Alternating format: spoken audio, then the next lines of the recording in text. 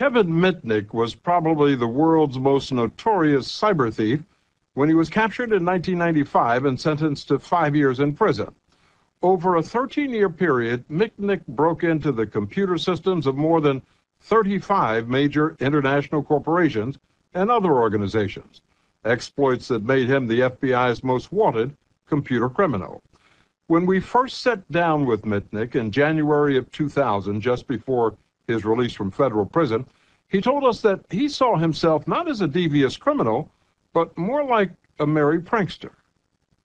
I saw myself as an electronic joyrider having a great time on the information superhighway.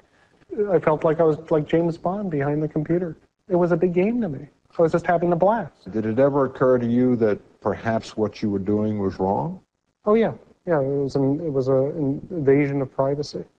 You know, going going and getting access to other people's information is obviously a gross invasion of privacy, and it is wrong. And that didn't bother you? Um, at the time I was doing it, um, no.